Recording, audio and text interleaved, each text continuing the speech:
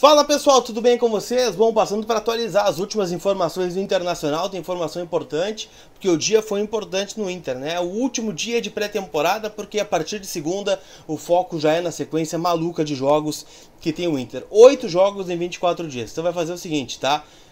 Te inscreve no canal, ativa as notificações para ficar ciente quando tem vídeo novo e deixa o like no vídeo. Quanto mais like tu der, melhor para mim, melhor para nós.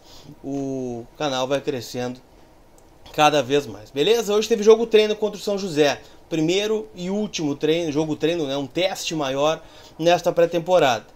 O o treino foi fechado, com portões fechados, mas o Inter divulgou que foi uma vitória de 3 a 1 Gols do Edenilson, Thiago Galhardo e Neto. Eu confesso que eu não tenho o time completo que entrou em campo, mas eu colhi informações de bastidores, né? conversando com pessoas que assistiram ao jogo treino de hoje, que têm acompanhado o trabalho de pré-temporada. E eu posso dizer o seguinte: algumas ideias do Eduardo Cudê que já estão sendo colocadas à prática, que a gente pode ver inclusive na quinta-feira contra o Juventude ou no domingo contra o Pelotas, né, na segunda rodada do Campeonato Gaúcho, jogo no estádio Beira Rio. O gol está em aberto, mas eu tô apostando que o Lomba começa a temporada como titular de novo, né? O, eu vi informação do repórter Marcelo Salzano, da Rádio Bandeirantes, de que o Danilo teria começado o jogo treino hoje. Para mim, me falaram que o Lomba é, ainda tem o crédito pela temporada 2018-2019 que fez. Então, tá em aberto, mas eu tô apostando no Marcelo Lomba.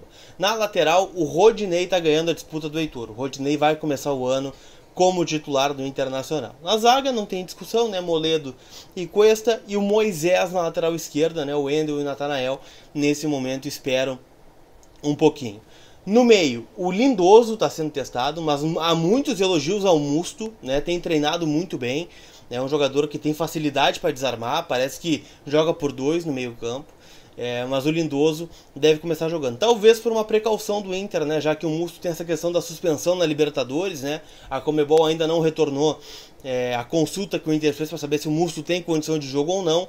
Por enquanto, o Lindoso abre esse meio campo. Edenilson vem na sequência, Patrick e Nonato, é a informação que eu tenho. Patrick, Nonato e Edenilson, fechando essa linha de três, né? De três meias. Patrick pelo lado esquerdo, Edenilson pelo lado direito e o Nonato mais por dentro. Na frente, para mim, a grande surpresa da temporada. D'Alessandro como atacante e o Paulo Guerreiro. O Guerreiro, inclusive, não participou do jogo treino hoje, a informação que eu tenho também. E o Peglow teria treinado no seu lugar ao lado do D'Alessandro. Então, o D'Alessandro está virando o atacante no time do Eduardo Cudê, jogando mais próximo ao gol, né? Sem tanta obrigação defensiva, né, de, de voltar para marcar lateral, como a gente viu em outras oportunidades, mas jogando um pouquinho mais à frente ao lado do Guerreiro, hoje, né, do Peglo nesse jogo treino que acabou 3 a 1 para o Internacional. Então a gente já pode ver ideias né, do Eduardo Cudê. Outra situação que me passaram é que o Marcos Guilherme tem jogado na linha de meio, nessa linha onde está o Nonato, o Patrick e o Edenilson. O Marcos Guilherme tem jogado ali, mas tem sido uma opção nesse momento. Não vai jogar na frente ao lado do Guerreiro, por exemplo. Claro, pode jogar numa eventualidade, mas não foi o que aconteceu durante a semana, né? Lembrando, o Cudê tem fechado muitos treinos durante a semana, né? Ele libera a parte da manhã para a imprensa e à tarde o Inter acaba fechando os portões né, para ter mais privacidade. Mas são as impressões que me passaram desse primeiro, dessa primeira semana de treino tático, né, que a gente não teve acesso, do jogo treino também, que aconteceu hoje lá no CT Parque Gigante. Beleza? O que, que tu achou da escalação? Comenta aqui, deixa o like no vídeo, te inscreve no canal que vai me ajudar muito.